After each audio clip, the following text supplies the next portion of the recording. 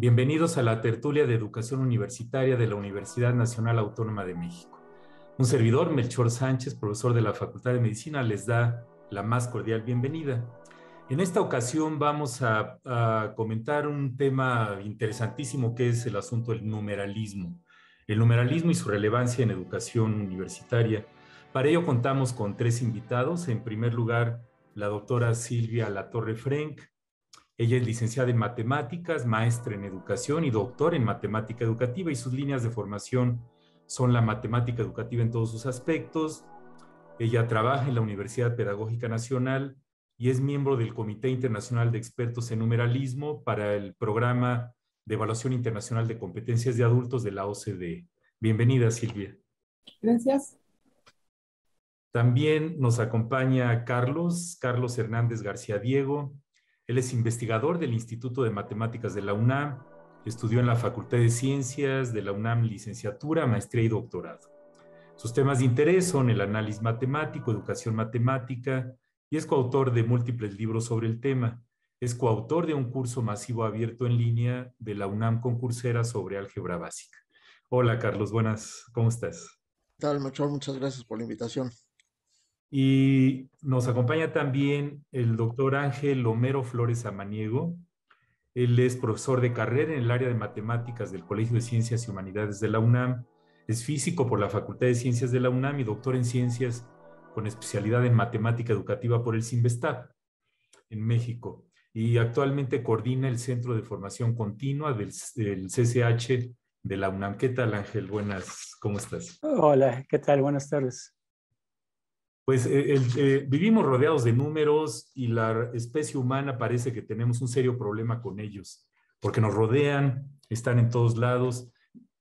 Sin embargo, nos cuesta tanto trabajo entender el riesgo de infectarnos por COVID-19, eh, la dificultad para entender la efectividad de las vacunas en términos cuantitativos y sus riesgos. Y, y como decía el filósofo griego Proclo, eh, en donde hay un número hay belleza. Entonces los números están en todos lados y ustedes que son expertos en, números, pues quisiera preguntarles, empezando por Silvia, ¿a, qué se refiere esto de numeralismo? ¿De dónde viene y por qué es importante para las universidades? Bueno, sí, sí. No, yo quisiera ampliar un poquito porque hablar de universidades solitas no creo que no tiene nos quedamos cortos. Numeralismo yo lo entiendo como la capacidad de manejar información eh, de índole matemática, no necesariamente numérica, pero bueno, el término, el término se, se extendió así a pesar de que en la segunda mitad del siglo pasado había gente que hablaba de alfabetismo matemático Finalmente, el término, o de cultura matemática, el término que prendió en inglés fue numeracy y, y pues no es el más feliz porque sugiere números, pero, y, y, las matemáticas son mucho más que números, pero pues es el que, como la música de 620 llegó para quedarse, como el coronavirus. Este, entonces, el, el Numeralismo es, em, es una competencia em, que se aprende y, y se aprende en la práctica. El numeralismo tiene que ver mucho más con la vida real que con la escuela. Entonces, eh, el numeralismo es la capacidad de eso, de, de, manejar y, y, aplicar y tomar decisiones con base en eh, información matemática que podemos entender, que podemos procesar, que podemos aplicar, que podemos transformar. Y de eso se trata. Entonces, el, como yo lo veo, el, numeralismo es importantísimo en todos los seres humanos, o sea, si, y en particular en los adultos si pensamos en la necesidad de ejercer esas, esas eh, competencias en, en, en la vida real, pues es una vida real que nos incumbe a todos, no nada más a los estudiantes universitarios. Así es. Pues para empezar, creo que yo eso es lo que, lo que, con lo que empezaría. Muchas gracias, Silvia. Pues, Carlos, ¿qué, qué agregarías o qué perspectiva nos darías? A mí me gustaría hacer un paralelismo, digamos, entre numeralismo, alfabetismo y cultura. Digamos, cuando todo el mundo entiende más o menos lo que es el alfabetismo o el analfabetismo, ¿no? los que no saben leer y escribir, etcétera, ¿no?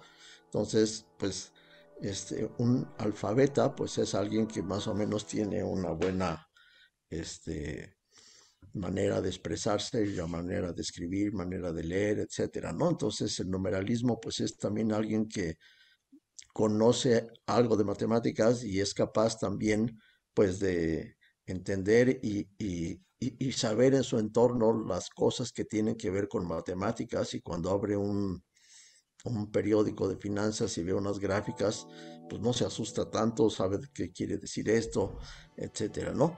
Y por otro lado también un poco más amplio es la cultura, ¿no? A mí me, a, a veces me choca cuando, digamos, estamos hablando, por ejemplo, con alguien que se dedica a la literatura o que se dedica a la música o que es profesor de, de alguna ciencia de, de, de, humanidades. Entonces, uno automáticamente dice que ese es culto, ¿no? Porque sabe mucho de historia, sabe mucho de literatura, sabe de pintura europea del siglo XIX, se habla de los de los eh, impresionistas, etcétera, ¿no? Y, pero no sabe nada de matemáticas ni entiende las gráficas de una de una este periódico de finanzas. Entonces, pero en cambio, el hecho de que uno sepa matemáticas y entienda ciertas cosas o lo que sea, pues eso lo ven a, bueno, no, pues es que las matemáticas es esa parte. Pero maestro, pues si lo que tú estás haciendo, o sea, no tiene chiste decir que eres culto cuando es tu profesión. ¿sí? Entonces, este, es culto, es alguien que sabe más de su, este, más allá de su profesión y no, ni no nada más su profesión. Entonces, pues son esas tres cosas, numeralismo, alfabetismo y cultura, que yo las siento así como muy, muy ligadas. Gracias, Carlos. Ángel. Hola, ¿qué tal? Gracias por la invitación. Voy a empezar con una definición de numeralismo. La primera ocasión en que yo me topé con, con este término fue más bien en términos de una alfabetización matemática. Y esto lo estábamos viendo cuando revisamos el marco teórico de PISA. Después, cuando me hicieron la invitación para venir al programa, me topé con el, el término numeralismo y haciendo una indagación somera, llegué a que era, es decir, el equivalente es la alfabetización matemática que utilizan en la, en la OCDE, en el PISA. Voy a permitir leer esta definición no es mía, pero la tomé de uno de los artículos. el término numeralismo describe tanto el cúmulo de habilidades, conocimientos, creencias, disposiciones y hábitos de razonamiento como habilidades generales de comunicación y resolución de problemas que la gente necesita para lidiar de manera efectiva situaciones del mundo real o tareas de interpretación en las que se tengan involucrados elementos matemáticos y cuantificables. Esto está más o menos en el tenor de lo que han dicho estos compañeros, pero hay otra definición que tiene que ver exclusivamente con el ámbito escolar. Y esto lo tomé de un artículo de Nueva Zelanda que dice numeralismo es el conocimiento, las habilidades, los comportamientos y las disposiciones que los estudiantes necesitan para utilizar la matemática en una amplia gama de situaciones. Implica el reconocimiento y el entendimiento del papel de la matemática en el mundo y el tener la disposición y la capacidad de usar el conocimiento y las habilidades matemáticas a propósito. Ahora bien, después de, de leer un poco sobre esto, recordé la, la definición de educación matemática que hemos estado usando desde hace no sé, alrededor de 10, 15 años, y está muy en términos de, de estas definiciones de numeralismo. Y para nosotros, en el modelo de intervención didáctica que estamos utilizando en CCH, para nosotros educación matemática es el acervo de conocimientos matemáticos y su uso correcto en la toma de decisiones o en la resolución de problemas en contextos tanto matemáticos como no matemáticos. Entonces, si lo vemos así, cuando se habla de numeralismo, yo muy bien lo puedo traducir al concepto de educación matemática que estamos usando. Y aquí lo dejo. Y bueno, gracias.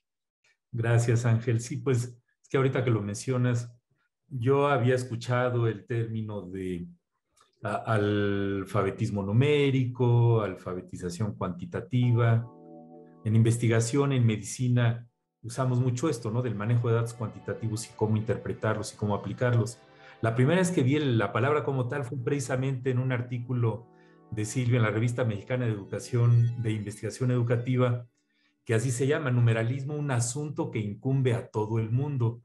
Y, Silvia le pone entre paréntesis, sí, también a usted, a quien las matemáticas lo aturden, aludiendo a esta cuestión pues cultural y social que comentó Carlos hace, hace un momento. Yo creo que el término, independientemente del término que usemos, la capacidad y habilidad, competencia, también aquí ya ven que hay controversia. Cada experto que le preguntas la diferencia entre competencia, desempeño, etcétera, también hay controversia, pero al final del día es algo que como seres humanos tenemos que saber hacer para ser buenos ciudadanos. Pues les agradezco muchísimo estos comentarios iniciales. Eh, seguiremos en los siguientes bloques. A continuación, vamos a escuchar a, a unos colegas sobre si utilizan las matemáticas en sus labores docentes profesionales y en lo que hacen día a día.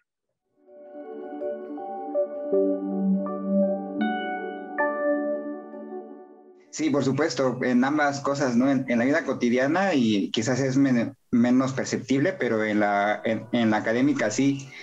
Y tanto en las clases de construcción como en las de cómputo, las de AutoCAD, siempre usamos mucho las matemáticas.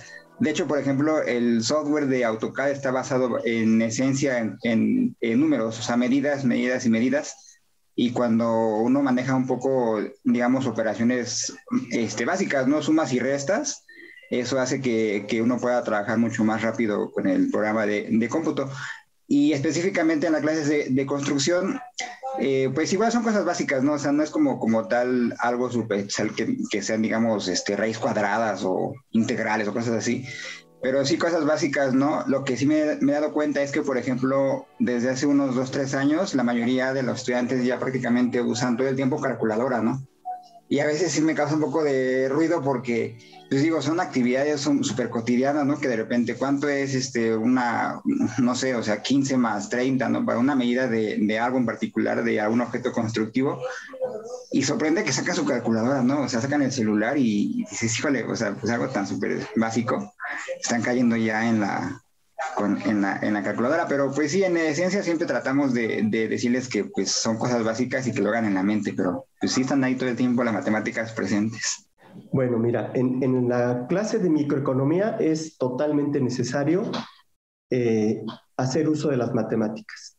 ¿De qué manera? Uno, hay que hacer operaciones básicas, multiplicación, división, suma, resta, para comparar precios, para eh, poder conocer los valores absolutos de los precios que se ofrecen en el mercado, por ejemplo, y estructuras porcentuales, que es eh, si yo tengo un ingreso de cierta cuantía, ¿cuánto voy a dedicar a cada una de las gastos para satisfacer las necesidades como consumidor? Esos son ejemplos de cómo se pueden usar en esta materia específica de microeconomía. Y incluso algunas tasas de crecimiento pueden ser eh, cómo se incrementó la tasa de tu ingreso personal del año pasado con respecto a este año, entonces hay que calcular una tasita de crecimiento que son ejercicios que se aplican en esta materia. En términos de, por ejemplo, mi ingreso en términos de lo que es la nómina, menos los descuentos, cuál es mi ingreso disponible y de eso cómo lo voy a distribuir en mis, en mis gastos personales, tanto para lo que voy a usar eh, de pagos de servicios, alimentación, vivienda, etcétera, y cuánto voy a ahorrar. Este sería como el ejemplo en mi vida como profesional y en mi vida diaria, pues todo el tiempo, ¿no? Vas al súper a comprar cualquier cosa, pues necesitas comparar los precios, este, qué me conviene, cuál es el, la verdura o la fruta que está de temporada, porque generalmente son más baratos. Entonces, todo el tiempo tienes que estar haciendo uso de las aritméticas o de la matemática en general, todo el tiempo.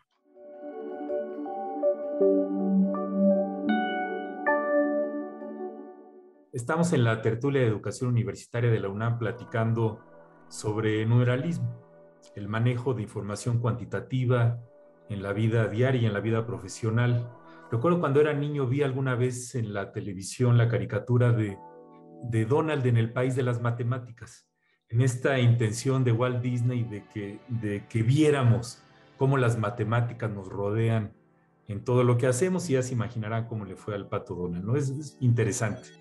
Eh, y está este aspecto cultural de que la gente luego le huye a las matemáticas, inclusive eligen carreras que no tengan que ver con matemáticas por el miedo a ello, en lo cual este, para las necesidades de la sociedad es como un contrasentido, ¿no?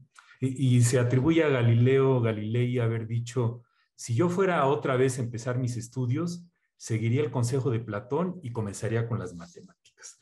La pregunta en este bloque, Ángel, es, pues, ¿cómo se enseñan y evalúan estas habilidades de manejo de información cuantitativa y cómo o deberían de integrarse explícitamente en los currículos? ¿Cómo integrar eso, Ángel? Muy bien. La cuestión aquí está en que desde la educación básica tenemos la matemática como una de las materias curriculares. Y hace rato la, la doctora Latorre dijo que ah, o hizo ella una distinción entre la matemática de la vida real, diciendo que el numeralismo tiene más que ver con la matemática de la vida real que con la matemática de la escuela. Y esto me, me trae a colación el hecho de que en la escuela, por lo general, se ve la matemática como un instrumento para resolver problemas. Y como instrumento para resolver problemas, lo que hacemos los docentes es dar una serie de instrucciones como si fuera un manual de uso de ese instrumento que a la larga viene a ser una especie de receta. Esto es lo que nosotros llamamos una enseñanza algorítmica. El estudiante aprende esta receta y la aplica. Y muchas veces sin reflexionar si está bien aplicada y si entra dentro de lo que se está viendo. Ante esto, nosotros creemos que para poder fomentar este numeralismo del que estamos hablando desde la escuela, habría que cambiar esa concepción de matemática. Y nosotros hablamos de la matemática, y por eso en singular, no en plural, como un cuerpo de conocimiento, un cuerpo de conocimiento acerca de los números, acerca de las figuras, en el espacio, en el plano, etcétera, y las relaciones que hay entre estos elementos. Ahora, si lo vemos así, la matemática la podemos utilizar como lo que había dicho, un instrumento para resolver problemas, pero también la podemos utilizar como una teoría que nos explica la realidad, y estoy hablando aquí de la modelación matemática, puede ser una ciencia, una ciencia que se estudia a sí misma, que es la matemática pura, y finalmente, no por menos importante, la matemática como un lenguaje. Si nosotros combinamos estos usos de la matemática en nuestras aulas, estaríamos también viendo la matemática que se ve en, el, en la vida cotidiana, que se ve fuera de la escuela y fuera de contextos matemáticos. Sí. Gracias, Ángel. Eh, pues, Carlos, ¿qué, qué comentarías sobre esto? Yo, por ejemplo, no, no, he dado clase en bachillerato, pero sí he escrito muchos libros de, de, bachillerato, de álgebra, de geometría, de cálculo. Y siempre tratamos cuando es posible, cuando introducimos un tema nuevo o un, o un algoritmo nuevo o una práctica nueva, empezar pues con un ejemplo lo más aterrizado posible. Entonces uno plantea un, un problema lo más aterrizado posible, lo resuelve pues como, como se pueda y ya después se explican, digamos, cuál es el algoritmo, cuáles son las fórmulas o cuáles son las herramientas que hay que, que, hacer para poder resolver ese problema. Pero en la medida de lo posible siempre tratamos de que cada vez que introducimos algo nuevo, lo introduzcamos con un problema. Y luego, por supuesto, en la lección, pues vienen también, este, al final, pues la mayor cantidad de problemas como para que sepan, pues para qué les está sirviendo eso que están, eso que están aprendiendo. Entonces, e, ese es el chiste, o sea, no nada más aprender la, la algorítmica, sino saber para qué queremos esa, ese algoritmo que estamos aprendiendo en ese momento. Entonces creo que por ahí va mi comentario. Pues Silvia, ¿qué, qué dirías sobre esto? Ay, ¿qué no diría? Este, me parece muy interesante. Em, yo estoy de acuerdo con mis colegas, eh, sí hay que cambiar la, la manera de ver.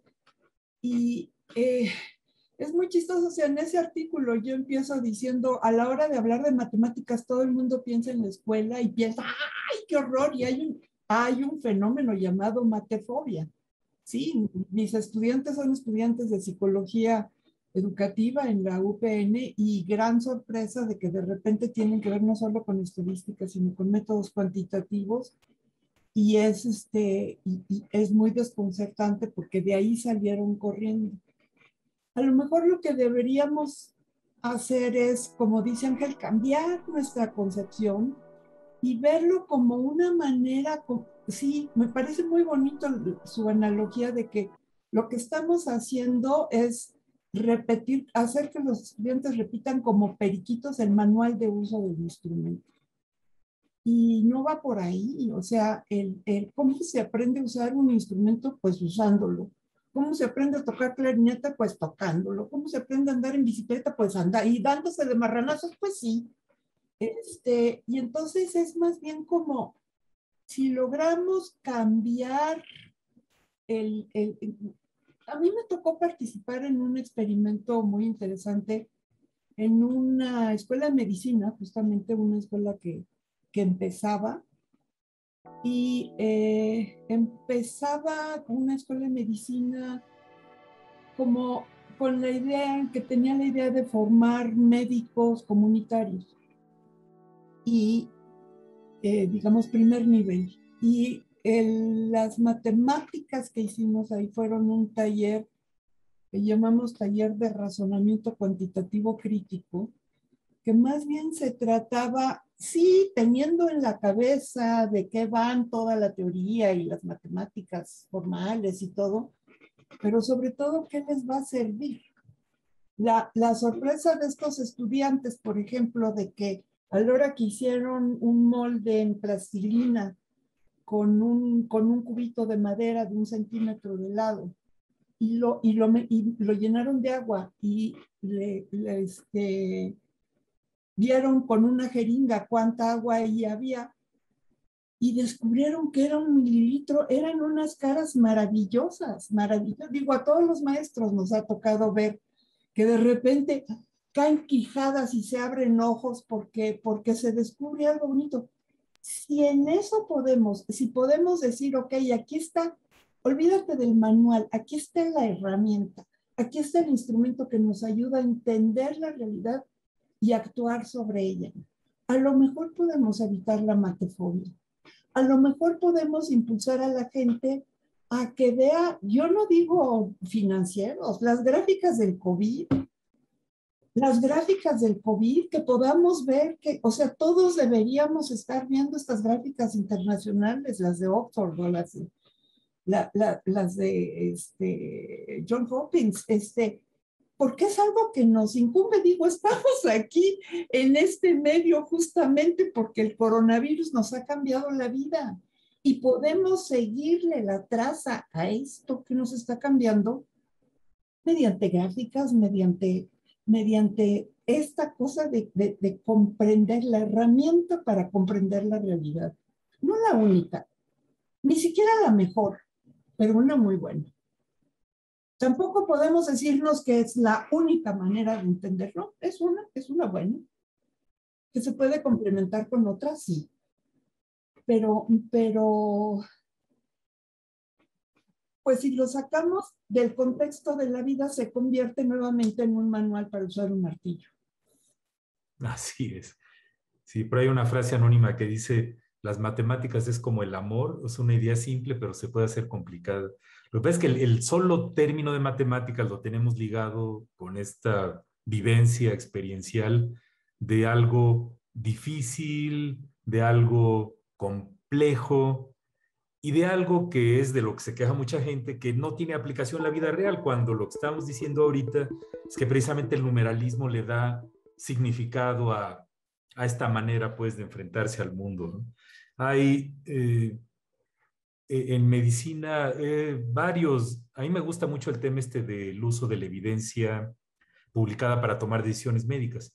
Y eso implica poder evaluar críticamente la literatura científica publicada. Entonces, cuando sale cualquier trabajo de investigación y de repente ponen intervalos de confianza, desviación estándar, error estándar de la media, a veces la gente pone ojos de plato y dice a mí mejor muéstrame la gráfica. Y, en otro tertulia hablamos sobre ciencia de datos, ¿no? Y cómo todo esta, eh, estas divisiones artificiales disciplinarias que hemos hecho por tanto tiempo y que han hecho tan difícil la integración de las disciplinas, pues ahora sí que ya nos alcanzaron, ¿no? El calentamiento global, por ejemplo, ahora que están eh, repartiendo los premios Nobel, pues las ciencias de la complejidad y todo el manejo cuantitativo de información para poder estimar, ahora sí que cuánto le queda a nuestro planeta enfermo.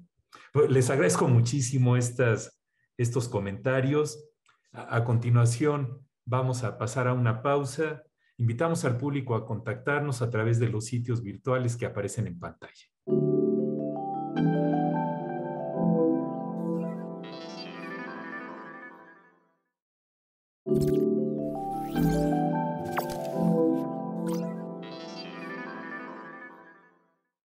Estamos en la tertulia de educación universitaria de la UNAM, platicando sobre el numeralismo. E, en otros episodios de la tertulia hemos hablado de ciencia de datos, ciencias de la complejidad. Inclusive tuvimos una sesión de literacidad y hablamos de la multiliteracidad y lo que algunos llaman literacidad cuantitativa, ¿no? Como siempre, los términos académicos se traslapan y confunden a toda la sociedad y también a los mismos académicos. Pero regresando al presente, eh, pues, ¿qué futuro le ven a esto? Porque todo lo que hacemos desde, pues, planear nuestro presupuesto de gastos mensual, si es que lo hacemos, de interpretar qué rebaja voy a obtener ahora que sea el Black Friday en alguna tienda departamental, la rebaja sobre rebaja, todas las cosas de la vida que implican manejar datos cuantitativos. ¿Cuál es el futuro de la enseñanza de esto y cómo podemos los profesores y las universidades ayudar, Silvia? Híjole, y si pensamos en más allá de las universidades, porque, porque si pensamos que esto es un asunto que incumbe solamente a las universidades y a los maestros y a los estudiantes universitarios, a lo mejor podemos lograr algo, pero no vamos a trascender más allá del mundito universitario. Para mí si hay un punto de toque, en, una piedra de toque en, en este asunto. Se trata de otros adultos, se trata de los adultos que son maestros, maestros de primaria, maestros de secundaria, maestros de bachillerato. El, el, el, el lugar donde se pueden romper los círculos viciosos que tenemos como, como sociedad, eh, creo yo que es ese. O sea, si un maestro, si un aspirante a maestro tiene dudas en matemáticas, no las resuelve a la hora de estudiar eh, en la normal, porque la normal da por sentado que ya sabe todo lo que tiene que enseñar, nada más tiene que saber enseñarlo. Y no es cierto, no es cierto. O sea, esto que decía yo hace rato de quijadas que caen, también las he visto con maestros que se dan cuenta que punto 5 y punto 50 son lo mismo y que son distintos de punto 05, así como, ah, bueno, la bronca es que los maestros están reproduciendo esos errores por 30, 35, 40 niños cada año. Y entonces, y entonces de nada, de nada podemos cambiar la actitud hacia, hacia esta herramienta eh, si, no, si no se empieza trabajando por ahí. Entonces, para mí el, el punto de toque está en el proceso educativo, en ese momento en, en, la formación de docentes. En la formación de docentes, que, que, que, eso pueda impregnar más allá, porque digamos tallercitos como esta experiencia que conté, tienen que ser tallercitos, porque, porque tiene que ser una cosa es un trabajo de hormiga. Pero, pero aunque lo hagamos así con tallercitos, y no es despectivo, este, de todas maneras no vamos a impactar en, a nivel social como para que se afloje el miedo a las matemáticas, se afloje la aversión a las matemáticas y podamos entender cómo y para qué sirve.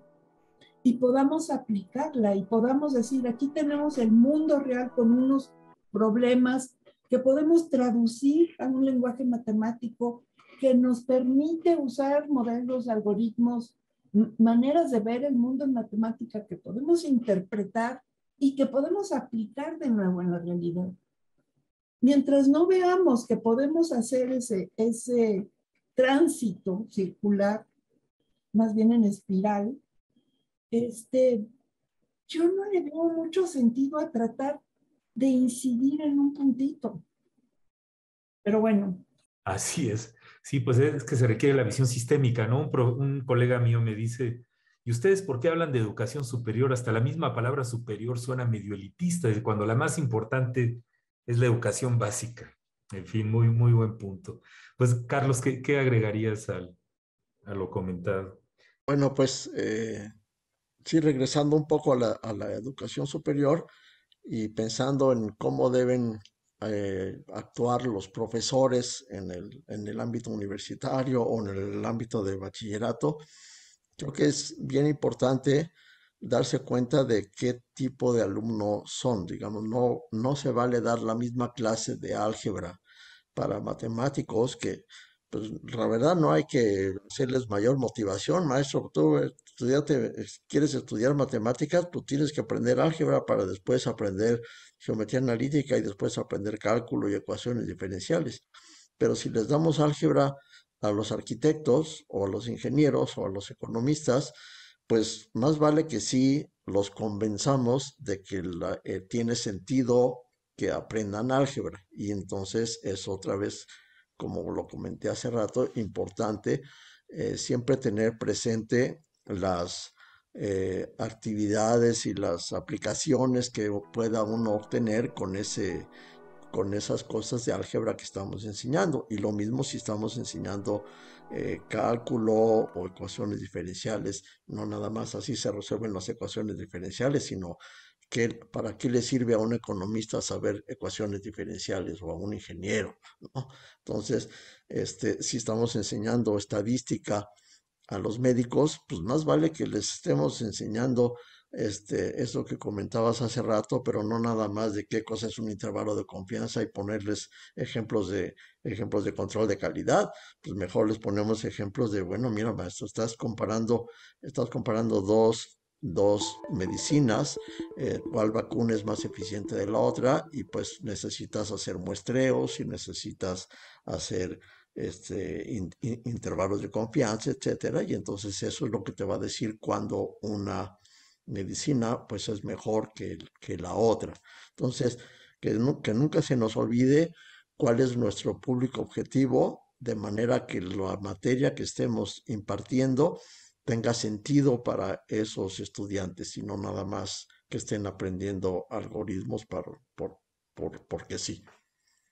Gracias. Sí, Carlos, muy, muy buen punto. Es, es que el contexto es importantísimo, ¿no? Cuando en medicina aprendemos el concepto de pH y que nos dicen ese logaritmo negativo de la concentración de iones hidrógeno, pues de lo abstracto no pasa y cuando tienes un paciente que tiene alteraciones del pH de la sangre, de su acidez, entonces ya adquiere significado, ¿no? Qué, qué, qué importante es darle contexto a las cosas. Ángel, ¿qué, qué agregarías? Bueno, creo que hay mucho todavía de, de dónde jalar. Voy a hablar de dos cosas. Una tiene que ver con lo que dijo la maestra Silvia hace rato sobre no quedarnos con en la universidad. yo diría no dejar la universidad, pero sin descuidar los otros niveles, sobre todo los básicos. Hace, no sé, 20 años, más o menos, 19, perdón, sí. No, estoy mal. Hace nueve años, 2012, por ahí, se formó en la UNAM un, un seminario, seminario universitario para la mejora de la educación matemática en la UNAM. Y esto fue una iniciativa del rector de aquel entonces. Y la idea que teníamos era mejorar la educación matemática partiendo del bachillerato, partiendo del bachillerato de la UNAM y después pegarle al nivel superior, a las licenciaturas e incluso al posgrado.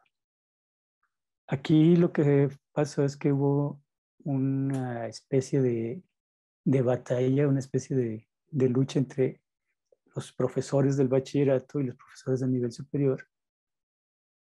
Y era una especie de, no sé, como de menosprecio a los profesores del bachillerato, porque no teníamos ese conocimiento matemático que se requería, y también un desprecio hacia la didáctica yo propuse un curso de evaluación, de evaluación en el aula, como le llamamos nosotros, que se apega mucho a lo que en la literatura se llama evaluación formativa. Hicimos el curso y para empezar, en DEGAPA no nos permitían dar la clase nosotros porque éramos profesores de bachillerato. Entonces, desde ahí empiezan los, los prejuicios. Al final, creo que hace ya dos años que, no funciona SUMEN y a partir de ese, digamos, ese motivo, ese objetivo de tener los mejores estudiantes de matemática del mundo, creo que fue, como decía uno de los profesores, una llamarada de petate. Y esto apunta también a los prejuicios que tenemos que, con los que tenemos que lidiar cuando vemos esto fuera del ámbito universitario. Ahora, si analizamos los libros de texto, nos damos cuenta que los libros de texto de matemática en su mayoría son una serie de instrucciones. Y luego yo digo, bueno, se trata de instruir a los estudiantes, es decir, darles instrucciones. O se trata de dialogar con ellos. Entonces, más bien es cambiar toda esta parte de la didáctica y hacer ese diálogo con los estudiantes. Y hemos estado trabajando con algunos, digamos, algunos libros de texto que utilizamos como material de apoyo en nuestras clases. Y por ejemplo, uno de ellos tiene que ver con la rueda de la fortuna. Y hablar sobre la rueda de la fortuna, de las vueltas que da, algo de historia, cuando fue la primera rueda de la fortuna que se hizo. Y esto empieza con una especie de cuento.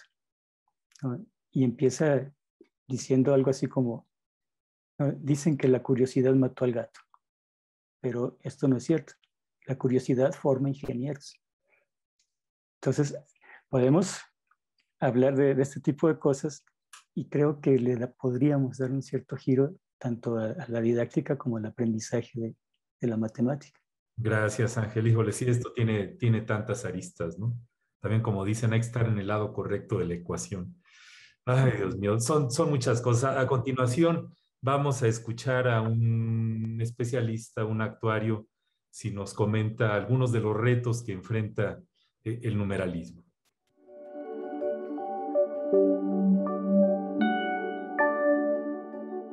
Desde mi punto de vista, los retos que enfrenta el numeralismo se encuentran asociados con nuestra modernidad. ¿A qué me refiero?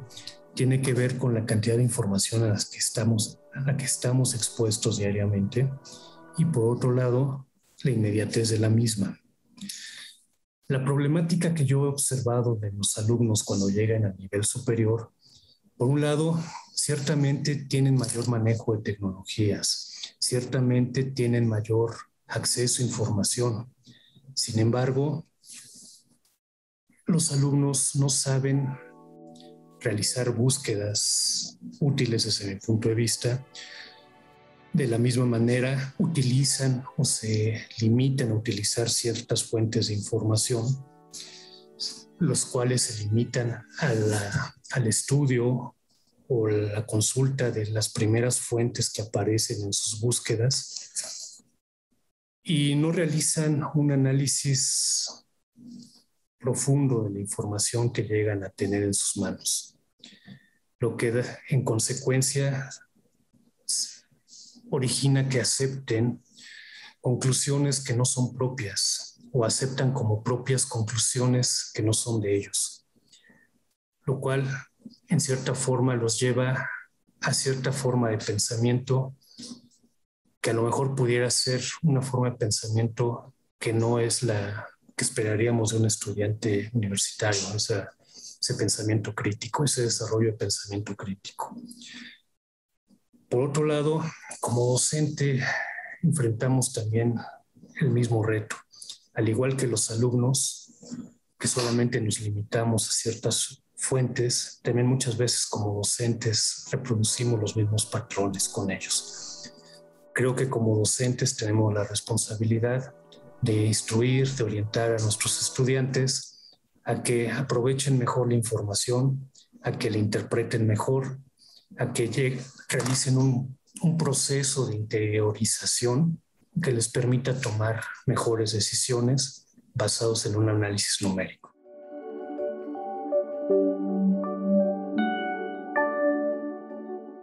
Estamos en la tertulia de educación universitaria de la UNAM platicando sobre el tema de numeralismo.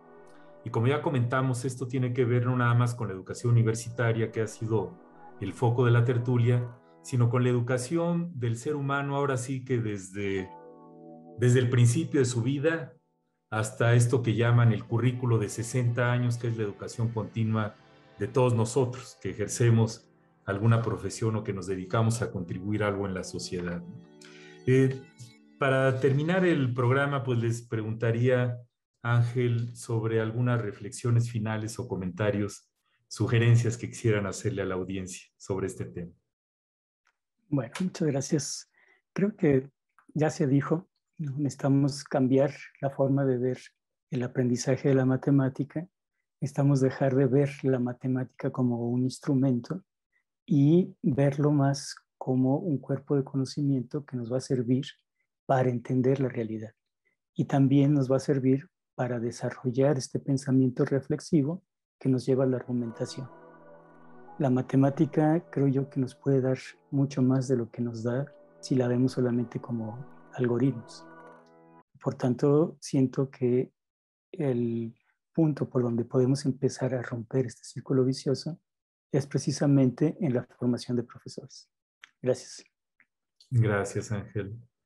Eh, Carlos, eh, algunos comentarios finales. Sí, bueno, creo que sí, lo más importante es entender cuando se tiene un problema de que hay que resolverlo con matemáticas, es mucho más importante entender el problema, cuáles son las variables que están involucradas, que hay que hacer para resolverlo, que digamos en sí el algoritmo o las operaciones que se tienen que realizar, por ejemplo, ¿no? Entonces, por ejemplo, ahora que llevamos ya pues año y medio de, pandemia, pues yo pongo ejercicios en, la, en, una plataforma que desarrollé para que los alumnos resuelvan este, problemas de geometría analítica, digamos, ¿no? Entonces, pues claramente, eh, pues no estoy esperando que lo resuelvan a mano, eh, pero el chiste es que entiendan cuál es el problema y qué es lo que tienen que hacer.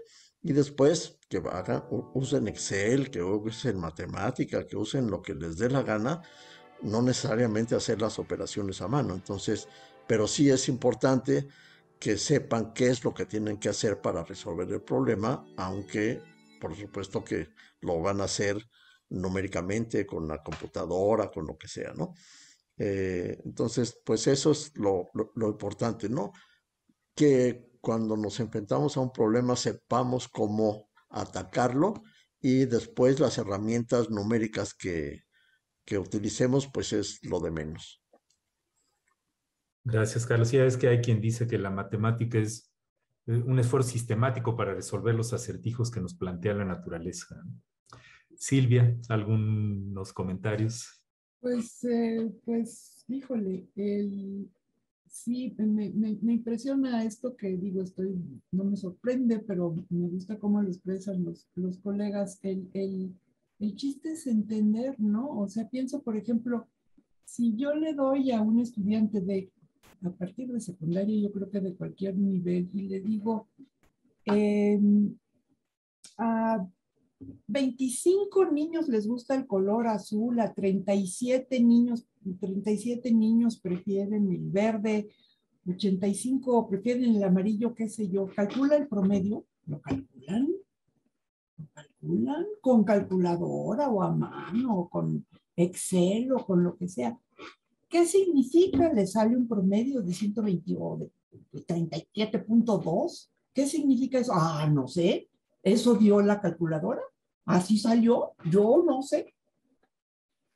eso es una cosa de, actitud, o sea, de, como dijo el, el, especialista hace ratito, de hacer, aceptar lo que dicen otros o lo que dice una calculadora sin entender, sin hacer lo propio, eh, es un problema muy, muy amplio y es un, es un problema que tenemos que atacar a fondo.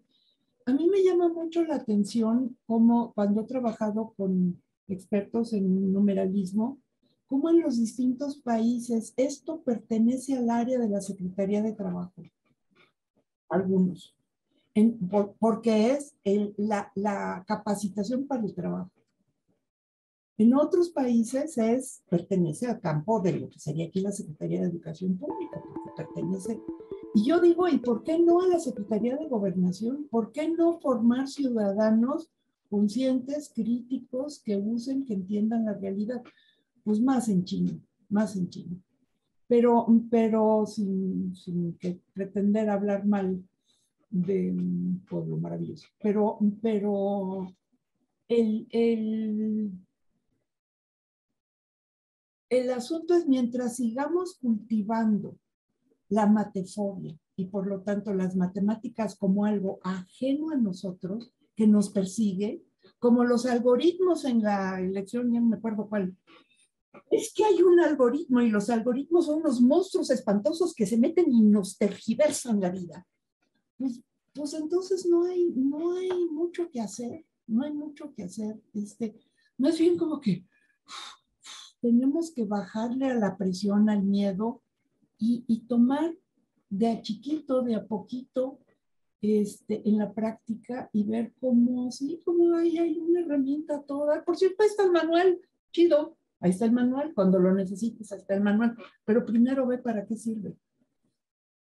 Así es.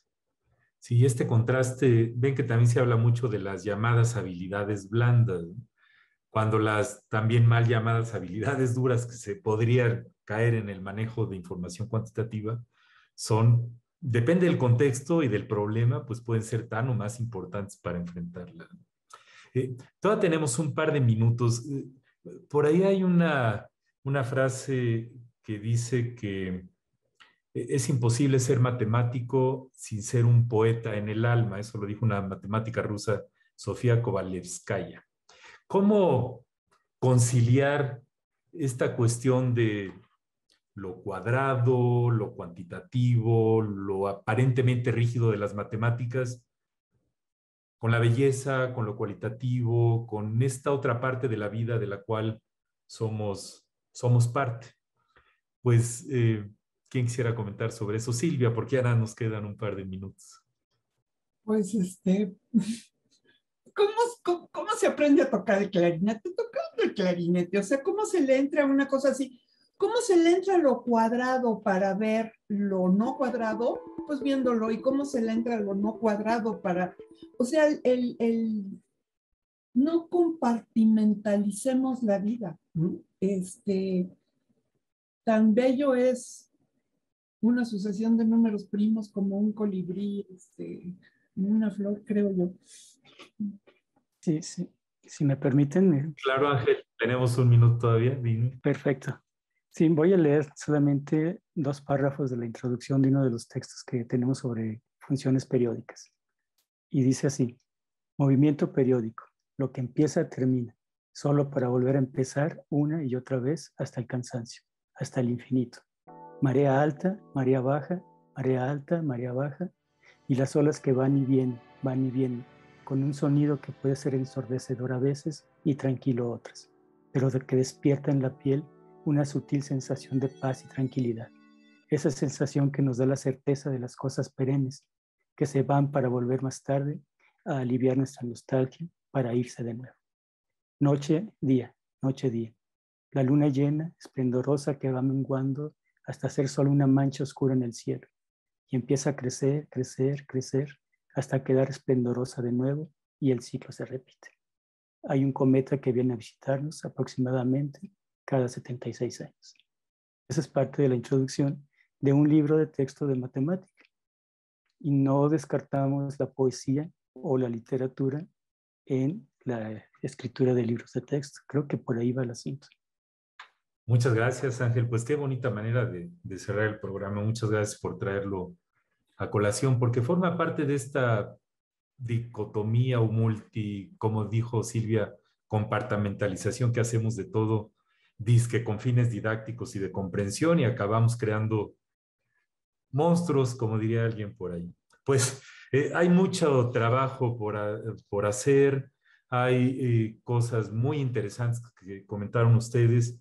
Yo creo que pongamos cada quien nuestro granito de arena en nuestra eh, área de competencia para que esto avance, para que la sociedad realmente sea, tenga mayor literacidad cuantitativa, numeralismo y podamos enfrentar los retos, los retos actuales del planeta. Pues les agradezco muchísimo, Silvia. Muchas gracias por la invitación. Carlos, muchas gracias. Gracias, estuvo muy entretenido el programa. Gracias. Y Ángel, muchísimas gracias. Ah, gracias a ustedes y gracias por la invitación. Hasta pronto. Muy bien, quisiera cerrar con una frase de William Paul Thurston un matemático norteamericano que dijo, la matemática no es solo números, ecuaciones, computaciones o algoritmos, es entender. Entonces, eh, como hemos dicho el día de hoy, numeralismo es usar esto en la vida, en la vida diaria y todos saldremos beneficiados. Pues eh, les agradezco muchísimo su participación y con esto damos fin a la tertulia. Muchas gracias.